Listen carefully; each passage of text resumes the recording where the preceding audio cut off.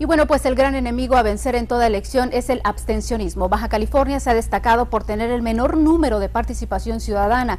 Comerciantes y restauranteros ponen su granito de arena para cambiar esta realidad. Eh, tenemos los detalles, por supuesto, con Claudio Orozco. Claudio, adelante, muy buenas tardes. Adriana, ¿qué tal? Muy buenas tardes. Los comerciantes se organizaron para incentivar de alguna manera el voto, así que decidieron ofrecer una serie de descuentos a todo aquel que logre comprobar que emitió su voto el domingo.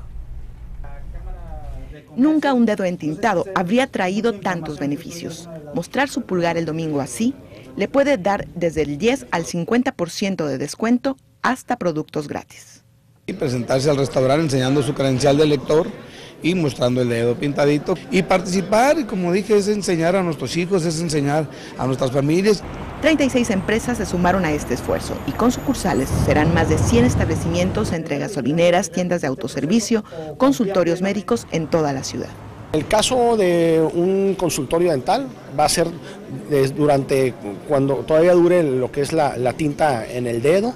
Este, en el caso, por ejemplo, de los hospitales, vamos a regalar, bueno, vamos porque pues, es parte de las empresas que representamos nosotros, este, vamos a regalar 400 consultas, va a ser intercambiable el vale el mismo domingo, te lo vas a llevar a tu casa y lo puedes aplicar en el transcurso del mes. Por parte del IFE ya está prácticamente todo listo. En el Distrito 5 solo quedan 15 paquetes electorales por entregar, que incluyen la caja de nuevos marcadores para emitir el voto es parecido al lápiz, tiene la forma del lápiz, pero la composición química de la punta no es la de un lápiz. Tiene la misma eh, función que tiene un crayón, esto es, se marca la boleta y no hay forma de quitarla con, una, con un borrador ordinario.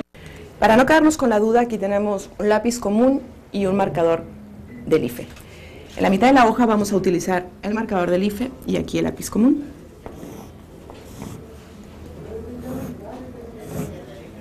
Y los dos intentaremos borrarlo.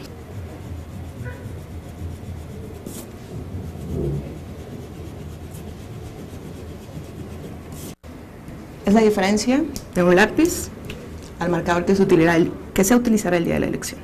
Pero si aún queda desconfianza, puede llevar lo que sea de su elección para marcar la boleta. Además de que sería prácticamente imposible llegar a borrar un voto o la marca que deja este crayón, hay que tomar en cuenta que en cada casilla están los funcionarios de casilla, que son ciudadanos, los representantes de los partidos y además los observadores que estarán muy pendientes de la transparencia de este proceso. Claudia, y precisamente hablando sobre los representantes de, de partidos, ¿en cuántas casillas se registraron estos?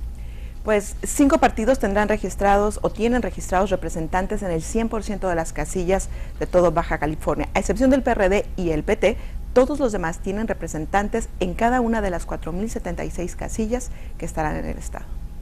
Gracias, Claudia. Muy buenas tardes. Buenas tardes.